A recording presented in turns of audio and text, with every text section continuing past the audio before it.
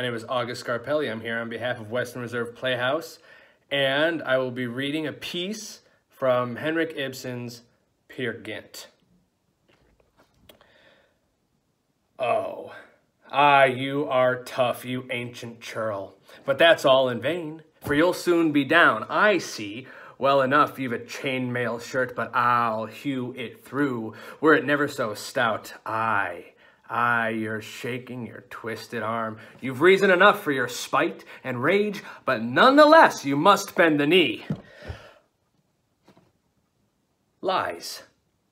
Tis an old tree and nothing more. Lies. It was never a steel-clad churl. It's only a fir tree with fissured bark. It is... It is heavy labor, this hewing timber. But the devil and all, when you hew and dream too, I'll have done with it all. With this dwelling in mist and broad awake, dreaming your senses away, you are an outlaw, lad. You're banned to the woods. I, an outlaw. You've no mother now to spread your table and bring you food. If you'd eat, my lad, you must help yourself. Fetch your rations raw from the wood and stream, split your own fir roots and light your own fire bustle around and, and arrange and prepare things?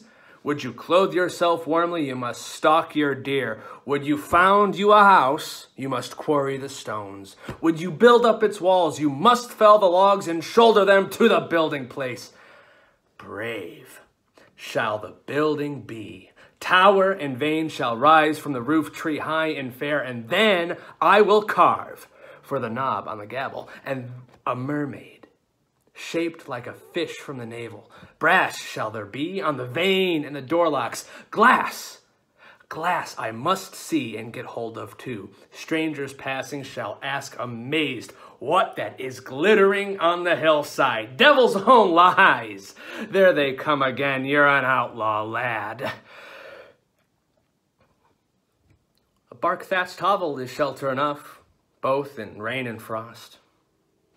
Now, he stands wavering. There, only a kick, and he topples and measures his length on the ground. The, the thick, swarming undergrowth shudders around him. There's someone after me. Aye. Are you that sort, old Hegstad churl? Would you play me false? A lad. One only. He seems afraid. He peers all around him. What's that he hides neath his jacket? A sickle? He stops and looks around. Now he lays his hand on a fence rail flat. What's this now? Why does he lean like that? Oh, oh, why he's chopped his finger off. A whole finger. He bleeds like an ox. Now he takes his heels with his fist in a clout. What a devil of a lad an unmendable finger, right off, and with no one compelling him to do it. Ho! Now, I remember. It's only thus you can escape from having to serve the king. That's it. They wanted to send him soldiering, and of course, the lad didn't want to go. But to chop off, to sever for good and all, I think of it. Wish it done. Will it to booth, but do it no, that's past my understanding. Thank you very much.